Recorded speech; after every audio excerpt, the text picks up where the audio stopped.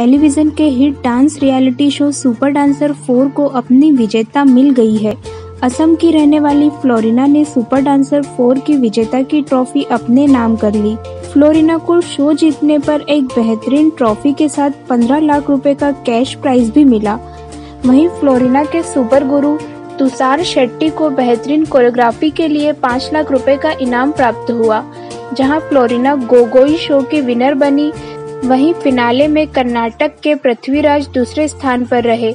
इसके अलावा पंजाब के संचित चनाना तीसरी पोजीशन पर और मध्य प्रदेश की निर्जा तिवारी चौथे नंबर पर व पाँचवें नंबर पर दिल्ली की ईशा मिश्रा रही। बता दें, इन सभी पाँच फाइनलिस्ट को एक एक लाख रुपए की धनराशि दी गई।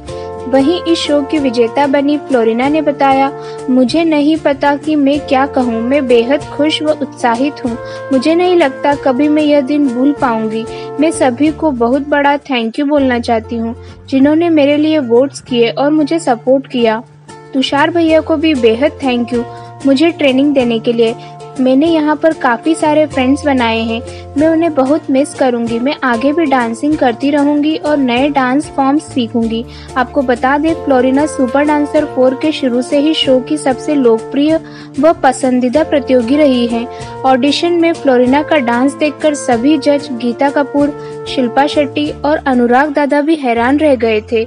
इतना ही नहीं, शो के फाइनलिस्ट कंटेस्टेंट के अलावा शिल्पा शेट्टी की परफॉर्मेंस भी काफ़ी चर्चा में रही, जिसमें उन्होंने जानवी कपूर के गाने नदिया पार सजन के जावा पर धमाकेदार डांस किया। इसी के साथ ग्रैंड फिनाले इसी के साथ ग्रैंड फिनाले एपिसोड में बॉलीवुड रैपर बादशाह और एंकर डांसर राघव जुयाल भी मौजूद थे। वहीं फ्लोरिना गोगोई ने फिनाले पर ट्रॉफी पकड़े जजेस, मेंटोर और अपने परिवार व दोस्तों के साथ तस्वीरें खिंचवाई, जिसकी फ़ोटो सोशल मीडिया पर तेज़ी से वायरल हो रही है और इसी के साथ फ्लोरिना के फैंस भी उन्हें शो जीतने की बधाई दे रहे हैं।